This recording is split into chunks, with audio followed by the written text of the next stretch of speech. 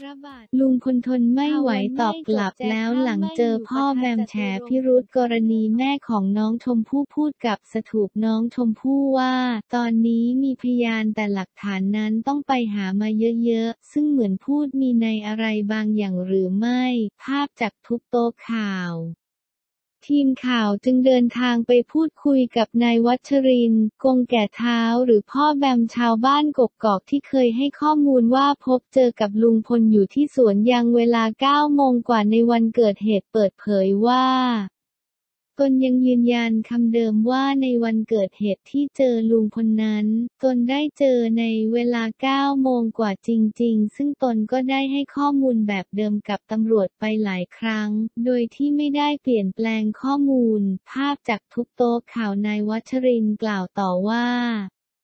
แต่ถ้าหากวันหนึ่งตนถูกนำตัวไปเป็นพยานนั้น ตนก็ยังคิดอยู่ว่าจะกล้าไปเป็นพยานหรือไม่ เพราะกลัวเรื่องผลกระทบที่ตามมา จึงยังไม่ตัดสินในเรื่องการเป็นพยาน อย่างไรก็ตามตนมั่นใจว่าไม่ได้จำเหตุการณ์คาดเคลื่อน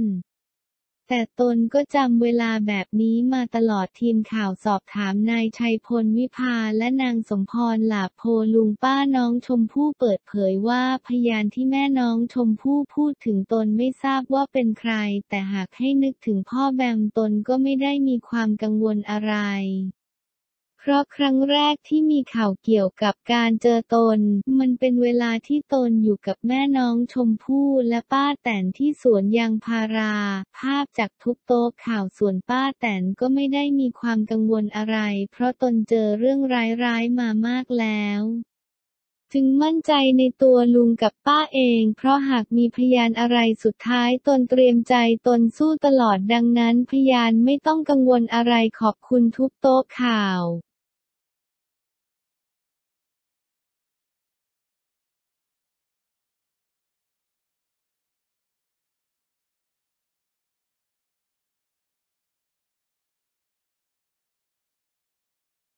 เจนนี่ก้มกราบกลางเวทีโดนอีกดราม่าป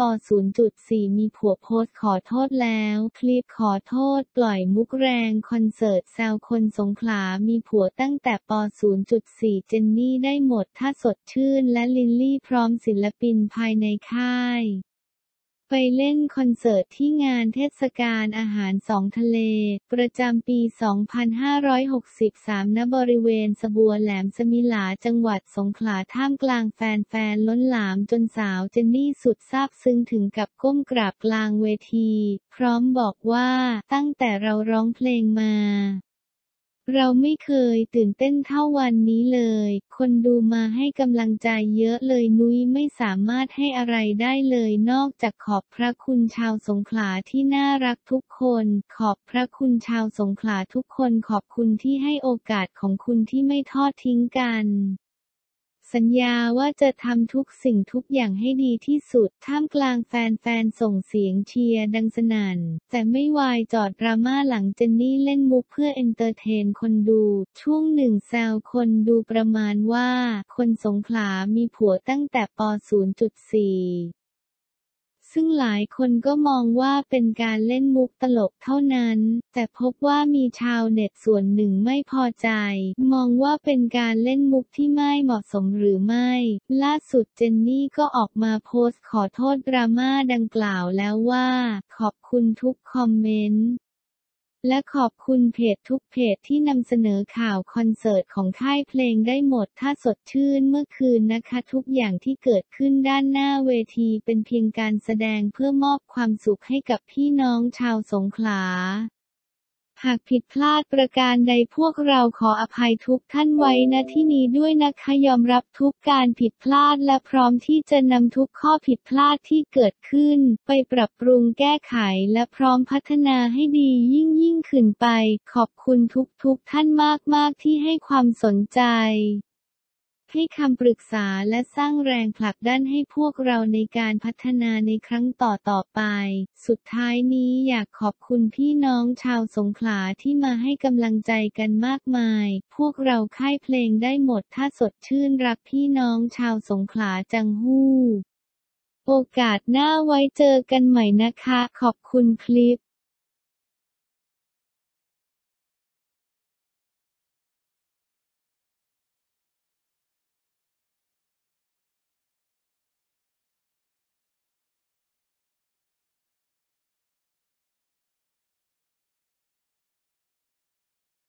ป๊อกมากกี้เคลียร์ปมร้อนนางเอกแอบรักพี่เขยลั่นบริสุทธิ์ใจมารีน่าคนในครอบครัวจากกรณีเพจกระตุกต่อมเผือกออกมาโพสต์ปมร้อนนางเอกสาวแอบรักพี่เขย แล้วมีชาวเน็ตจำนวนหนึ่งเข้ามาคอมเมนต์โยงไปถึง มารีน่าบาเลนซิเอกาน้องสาวนางเอกดังคุณแม่ลูกแฝดมากี้ราศีพันรยา ป๊อกภัสสรกรณ์จิราธิวัฒน์จนกลายเป็นดราม่าสนั่นล่าสุดวันที่สองกรามยอ ป๊อกมากี้ได้เปิดใจเคลียร์ปมร้อนในงาน Central Retail Double Mega Sale ที่ศูนย์การค้าเซ็นทรัลเวิลด์พร้อมกับแจงประเด็นที่มีกระแสข่าวว่า มากกี้ไม่ได้ร่วมถ่ายปฏิทินช่องสามในปีนี้ แต่เธอเดินไปขอทางผู้ใหญ่จนได้ถ่ายรวมถึงเรื่องวันเกิดที่ผ่านมาสามีจัดเซอร์ไพรส์เปหนักจนน้ำตาไหล พูดถึงวันเกิดที่ผ่านมาหน่อย มากกี้ ก็ดีนะคะได้ไปเที่ยวมีลูกๆมาด้วยมีเพื่อนด้วยก็เหมือนได้พักผ่อน ใครเป็นคนทำ plan มากกี้ เขาเป็นคนที่ plan แต่กี้จะเป็นคนจองที่ป๊อก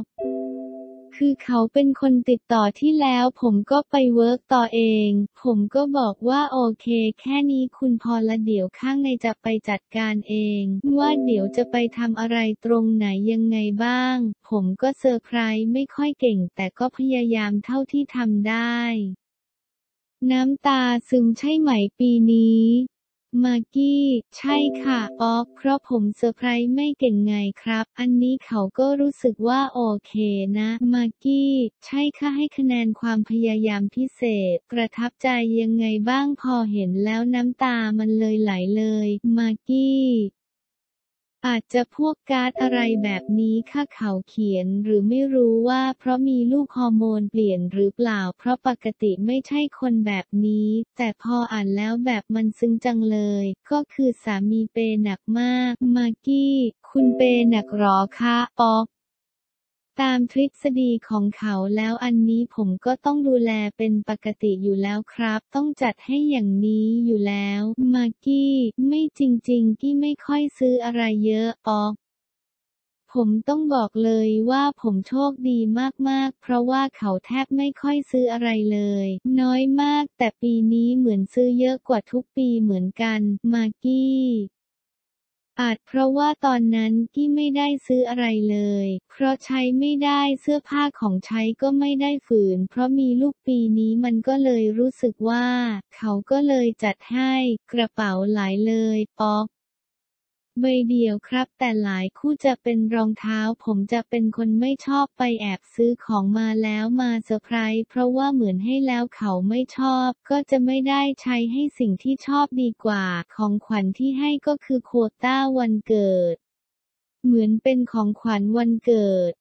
ป๊อกก็เขาอยากได้อะไรก็รวมรวมมากกี้ รวมรวมไปเลยค่าของขวัญวันเกิดของขวัญใด ๆ พอมีลูกแล้วป๊อกไม่ค่อยสวีทแล้วหรอ มากกี้ เขาก็เหมือนเดิมนะคะ เพราะว่าเขาก็ไม่ได้เป็นคนที่สวีทมาก ขนาดกลางกลางกำลังพอดีแบบที่เราชอบ ก็เป็นเหมือนเดิมนี่แหละค่ะ งานเข้าอีกดราม่าโยงป๊อกมารีน่าน้องสาวมากกี้ชาวเน็ตทะกะเถียงสนั่น มารีน่าอุ้มหลานโพสต์แล้วหลังงานเข้าปมร้อนป๊อกพี่เขยถึงกับคอมเมนต์ถามขอถามถึงเรื่องอักษรย่อน้องนางเอกแอบชอบพี่เขยหลายคนมองว่าเป็นคู่เรามากกี้รู้สึกยังไงบ้าง มากกี้ก็อาจจะเป็นเพราะเขียนชี้เป้ามาทางนี้อยู่แล้ว สำหรับกี้เฉยๆนะป๊อก คือตอนที่เราเห็นข่าวเราอยู่ด้วยกันด้วยแหละเราก็มองว่าเราหรอเอาตรงๆตั้งแต่ที่เราแต่งงานกัน แน่นอนว่ามันต้องสนิทสนมมากขึ้นเป็นธรรมดา อย่างมารีน่าเองเขาก็รักหลาน เขาก็มาเยี่ยมหลานผมก็ไม่ได้รู้สึกว่ามันแปลก เพราะเขาเป็นครอบครัวที่จะเข้าออกก็เป็นเรื่องปกติ กับประเด็นมันค่อนข้างแรงมาก มากี้ คือมันก็อยู่ที่เราว่าจะเก็บมาให้มันรู้สึกหรือไม่รู้สึกแต่สำหรับที่ไม่รู้สึกอาจจะเพราะว่าเราเป็นคนเสพข่าวด้วย เราเข้าใจตอนแรกเราก็เบลอเบลอไม่รู้เรื่องพออ่านคอมเมนต์ทำไมเขาเก่งกว่าเราเองเขารู้เรื่องจริง เราได้คุยกับมารีน่าบ้างไหม มากกี้ ความจริงข่าวนี้มันมีมาก่อนแล้ว ป๊อกด้วยความที่ผมเป็นนักร้องเขาเป็นนักร้อง ทำเพลงด้วยกัน มากกี้ ตอนนั้นมารีน่าก็ลงไอจีสตอรี่ว่าเขียนข่าวไม่น่ารักเลย หลานโตขึ้นมาแล้วมาเห็นข่าวแบบนี้ ที่ก็เข้าใจนะถ้าแบบว่าลูกเราโตมา แล้วค้นหา Google แล้วไปเจอจะเป็นยังไง แต่สำหรับเราก็ต้องสอนลูกเองว่ามันเป็นยังไงเวลาเราเข้าอินเทอร์เน็ตต้องเลือกเสพข่าวอะไรแบบนี้ มารีน่าค่อนข้างซีเรียสมากกว่าเรา มากกี้ ใช่ถ้าตอนนั้น แต่ตอนนี้เขาเฉยเฉยแล้ว มันจะกระทบความสัมพันธ์เราสามคนไหม ป๊อกไม่ไม่อย่างเราสองคนพูดได้เต็มปากเลยว่ารู้เรื่องราวทั้งสองคนร้อยเปอร์เซ็นต์ต่างคนต่างไม่มีความลับกัน ส่วนของมารีน่าก็มีแซวเล่นกันมากว่า อึดอัดไหมเวลาร่วมงานคนจับผิดป๊อก ผมปกติบริสุทธิ์ใจจริง ๆ ผมไม่คิดจะไปทำอะไรในรูปแบบนั้นเลย มากกี้ตอนนั้นมารีนาภูมิยังไม่แข็งแรง แต่ตอนนี้แข็งแรงเขาก็ไม่ได้สนใจอะไร เอาเรื่องนี้ดีกว่าที่บอกว่าแฟนมารีนาชื่อกล้า เขาไม่ได้ชื่อกล้านะคะคือผิดหมดเลย หัวเราะ ซึ่งแฟนมารีนาก็งงไปหมด อันนี้ต้องไปถามเขาเอง เรารู้สึกไหมว่าเขาเขียนเป็นละครเกินไป มากกี้ ไม่ได้รู้สึกว่าเป็นละครเกินไปหรอก มันแล้วแต่คนคิดคนมองถ้าเราไม่สามารถบังคับให้เขามองในแบบเราได้ เราจะมีการดูเรื่องกฎหมายใหม่เพราะมันเจาะจงมาที่ครอบครัวเราเลย ป๊อก มันเสียเวลาครับพี่ทำมาหากินเลี้ยงลูกดีกว่ามองเป็นบันเทิงบ้านเราแล้วกัน มากกี้ เอาเวลาขึ้นศาลมาออกอีเวนต์แล้วกัน เรียกว่าข่าวนี้ไม่ทีผลกระทบกับครอบครัวเรา มากกี้ ไม่มีครับแต่กลัวอย่างหนึ่งว่าผมมีงานกับมารีนาอีกอัน ซึ่งเขาเป็นคนเตรียมทุกอย่างให้ ก็หวังว่าจะไม่มีดราม่าอะไรแบบนี้อีก ถามถึงปฏิทินช่องเป็นครั้งแรกที่เราไม่ได้ถ่าย แต่เดินไปขอทางผู้ใหญ่ มากี้ ไม่นะคือกี้ไม่ได้เข้าช่องด้วยค่ะไปรับเช็คเงินเดือนอย่างเดียว ปีนี้ก็ได้ถ่ายปกติค่ะแต่ว่าเหตุผลที่ได้ถ่ายก็ไม่ทราบเหมือนกัน ส่วนมากจะมีพี่ที่ช่องส่งไลน์ขอคิวถ่ายปฏิทิน ถ่ายกับใครได้คิวไหนแค่นั้นเอง คือทางผู้ใหญ่เป็นคนตัดสิน